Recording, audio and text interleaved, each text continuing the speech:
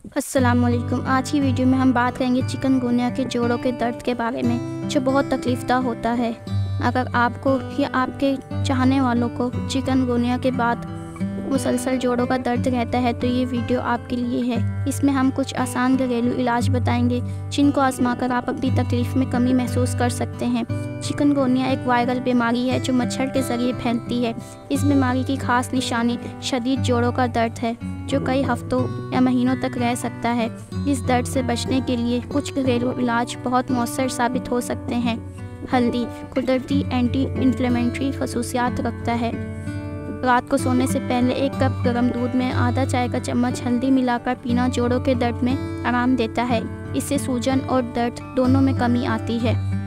अदरक और लीमू में ताकतवर एंटीऑक्सीडेंट्स होते हैं, जो दर्द और सूजन को कम करने में मददगार होते हैं। एक कप गर्म पानी में अदरक के कुछ टुकड़े डालें और इसमें आधा लीमू निचोड़ कर पी लें। नीम का तेल चिकनगुनिया के जोड़ों के दर्द में बहुत मुफीद है। इस तेल को हल्का गर्म करें और मुतासरा जोड़ों पर हल्के हाथ से मालिश करें। नीम की एंटीसेप्टिक और एंटी इन्फ्लेमेटरी खसूसियात जोड़ों की सूजन और दर्द को कम करने में मदद करती है। हींग हींग का लेप बनाकर मुतासर जगह पर लगाएँ। हींग में दर्द को कम करने की खसूसियात होती हैं, और ये फौरी तौर पर राहत फराम करता है। सरसों या जैतून के तेल की मालिश भी चिकनगुनिया के दर्द को कम करने में मावन है। रोज़ाना तेल गर्म करके जोड़ों पर मालिश करने से आराम मिलता है।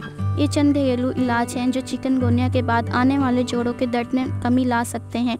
अगर आप इन रेमेडीज़ को आजमाएँ और मुस्तकिल मिजाजी से अमल करें तो इन आपको काफ़ी फ़र्क महसूस होगा। याद रहें कि ये इलाज सिर्फ़ दर्द को कम करने के लिए है। मुकम्मल इलाज के लिए डॉक्टर से रुजू ज़रूर करें। वीडियो पसंद आई हो तो लाइक करें, चैनल को सब्सक्राइब करें और बेल आइकन दबाना ना भूलें ताकि हमारी नई वीडियोस की अपडेट्स आप तक पहुँच सकें। अल्लाह हाफिज़।